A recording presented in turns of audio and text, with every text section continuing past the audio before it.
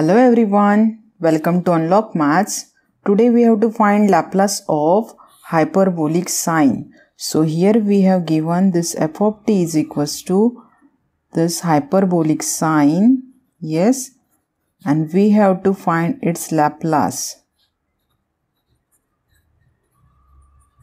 So we have to find this Laplace by using definition of Laplace transform. So here we have Yes, when we have one function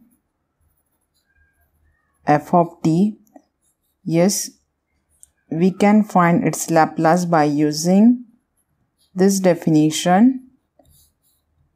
Yes, here we have integral within limit 0 to infinity e raised to minus st f of t integration with respect to t right so now here we have to find the laplace of this so here we have to write the sine of HAT, right?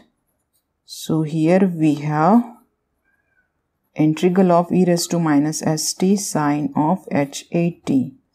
Yes. Now, yes, we know that, yes, we have this sine of hx. This is hyperbolic sine. We can write this is in exponential form.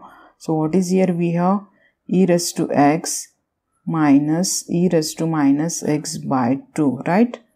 So by using this we can write this sine of HAT as this is e raised to at minus e raised to minus AT by 2 right? Yes now we can take this is 1 by 2 outside and we can separate this integral. So here we have yes this is e raised to minus st e raised to at yes.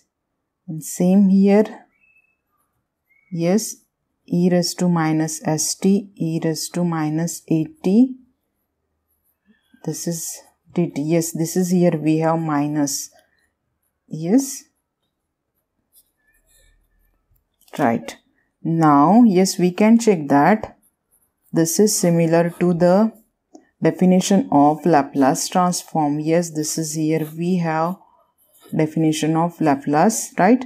So we can write this is as a Laplace of e raised to at yes. And this is minus here we have this is same here Laplace of e raised to minus at yes we have write down this is by using definition of Laplace, right? Yes, we can compare this is here f of t as this is e raised to at and same here f of t is here e raised to minus at, right? Yes.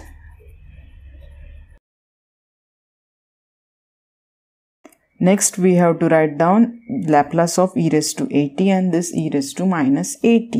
Yes, we know that. What is the Laplace of this? e raised to at. Yes. So here we have Laplace of e raised to at. What is this?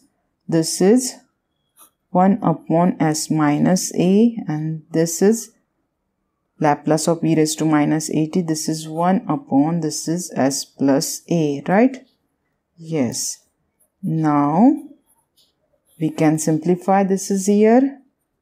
So yes on doing cross multiplication here we have in denominator here we have this is and in numerator we have this s plus a this minus s minus a right now yes this is s minus a s plus a. So here we can write this is s square minus a square. And in numerator this minus s plus s get cancel and this minus minus get plus. So here we have this is twice a right? Yes we have this we have used this formula. This is here right so what we got here, this is, we got, this is Laplace of sine of h HAT. Yes. What is this?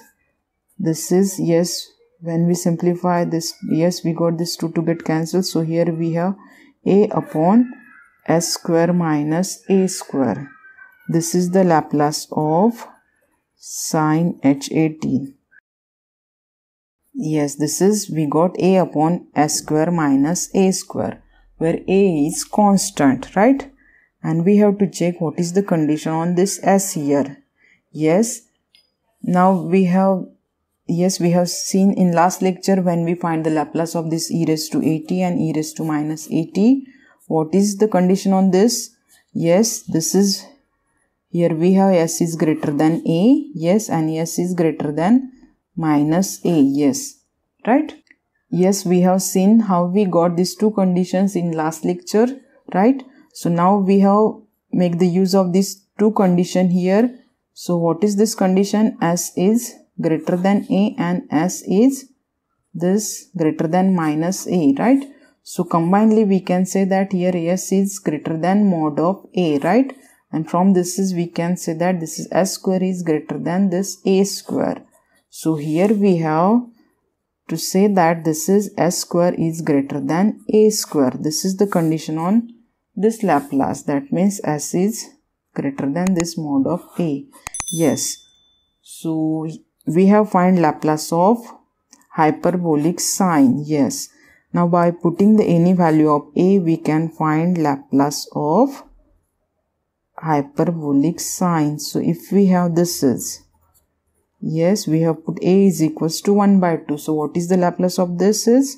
This is 1 by 2 upon s square minus 1 by 2 its square, right? Similarly, if we have to find Laplace of this is sine h phi u x Yes, we have changed the variable x here. Yes, instead of t we have write down x. So what is the Laplace? Laplace is here. This is 5 upon s square minus 5 square, right? So yes, this is a is here 5. Yes. So in this way, we have to find the Laplace of hyperbolic sine. So yes, that's it for now. See you in the next video. Thank you. Keep watching.